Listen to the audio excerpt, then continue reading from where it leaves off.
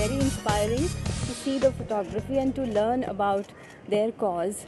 It's all about saving life, uh, and they have so much compassion for animals.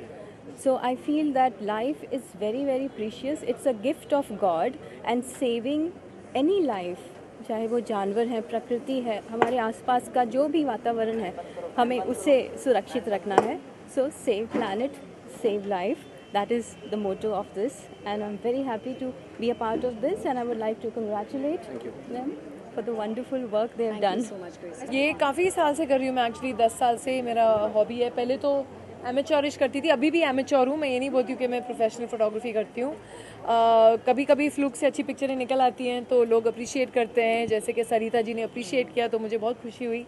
आ, लेकिन आ, आ, मुझे शौक़ है wild life का और आई थिंक दो साल एक साल में दो बार तो मैं और मेरे बच्चे तो किसी न किसी जंगल में निकल ही जाते हैं।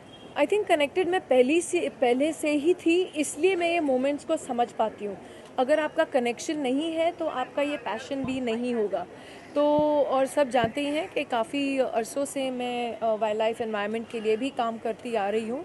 एंड uh, मुझे खुशी है कि uh, मुझे बहुत ही ऐसे यू नो सिमिलर सोच वाले लोग सेम सोच वाले लोग द यू नो ये जो दंपति हैं सुब्रमण्यम इन्होंने भी बहुत काम किया है uh, हमारे प्लानट की तरफ़ हमारे इन्वायरमेंट हमारे वाइल्ड लाइफ की तरफ़।